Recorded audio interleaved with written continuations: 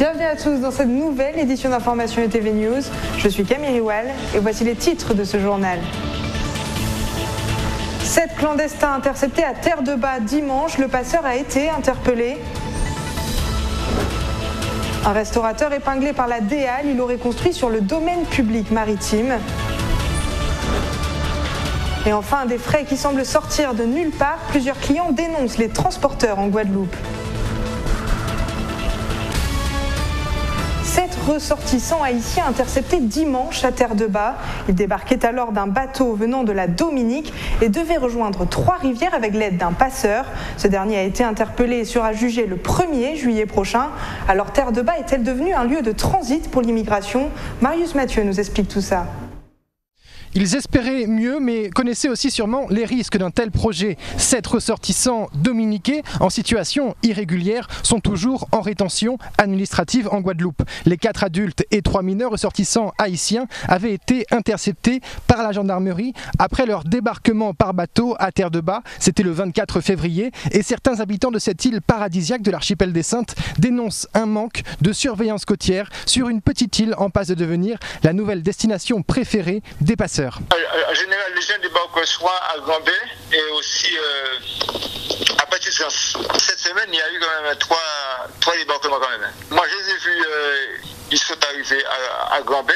Ils sont venus euh, normalement en, en Yol de la Dominique parce que parce qu'on a vu le Yol passer. Et puis comme les, bateaux de la Martinique, ils, étaient au port. Ils ont été contrôlés par, par, par la gendarmerie et, arrêtés. Après, ils sont partis avec eux. Ils étaient vraiment secs, donc y a, ils n'avaient pas peur. Donc voilà. C'est un phénomène qui sûrement va se répéter un peu, un peu, un peu plus souvent.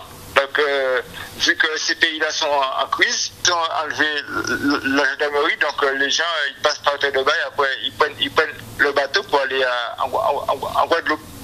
Et les sept clandestins en territoire français devraient faire l'objet d'une longue et délicate procédure d'éloignement. Cela relève normalement des compétences de la préfecture. On sait aussi que si le passeur, le capitaine du bateau, a pu prendre la fuite, un individu chargé de les réceptionner a pu être interpellé. L'homme d'origine haïtienne bénéficie d'un titre de séjour. Il affirme avoir agi pour aider sa famille. Il sera poursuivi en correctionnel en juillet prochain.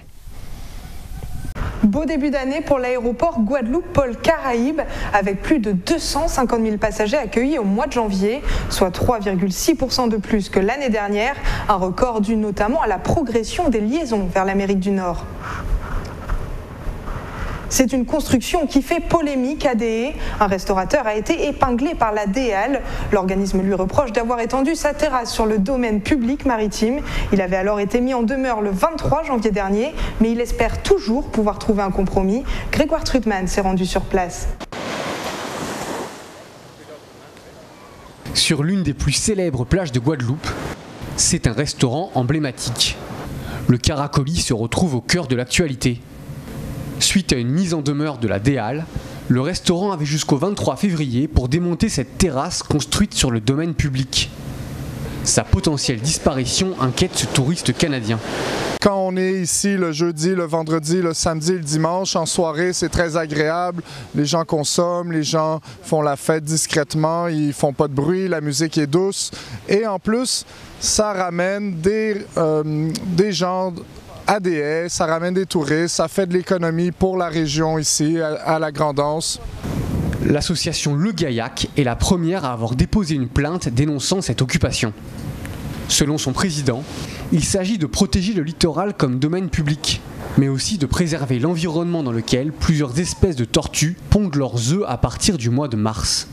Il constate aujourd'hui que la terrasse n'a pas bougé, malgré les recommandations de la DEAL. Tout le monde devrait avoir accès à cette zone qui est du domaine public hein, pour venir déjeuner le dimanche en famille, etc. Et ça a été privatisé à l'usage personnel du caracoli. Et ensuite, ils ont enlevé toute la végétation dans laquelle pondent les tortues marines. Ils ont mis à la place des cocotiers, comme si on était à Tahiti. Les tortues imbriquées ont besoin de la végétation pour pondre.